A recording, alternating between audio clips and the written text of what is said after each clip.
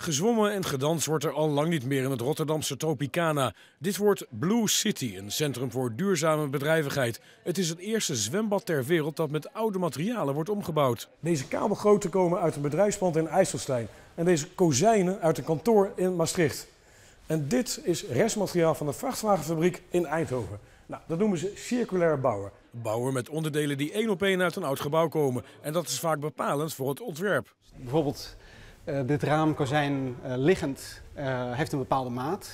Nou, als je ze allebei staan neerzet, dan passen ze die niet in dezelfde breedte. Dus dan krijg je die punt. Dus die punt is echt ontstaan uit de maten die die, die, die kozijnen hebben.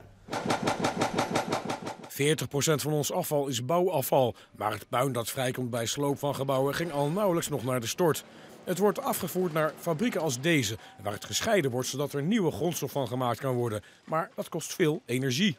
Als we nu een pand slopen, dan brengen we dat eigenlijk terug naar basisgrondstoffen. Dan werken we aan recycling. Dat, eigenlijk is heel veel verspilling, kost heel veel energie en heel veel moeite.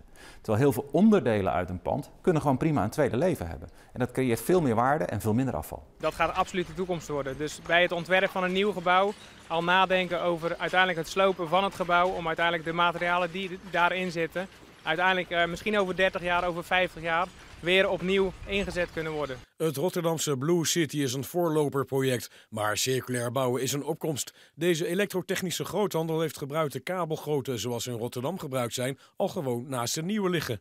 De vraag komt. De eerste projecten zijn gerealiseerd. We doen er zelf ook wat mee. Er zijn projecten in Rotterdam gerealiseerd. Het is, het is iets wat begint. Het, het zoomt in de markt.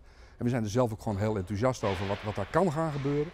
Na de kantoren in het discotheekgedeelte wordt binnenkort ook de zwemhal van Tropicana verbouwd. En ook daarvoor worden bouwmaterialen uit slooppanden gebruikt.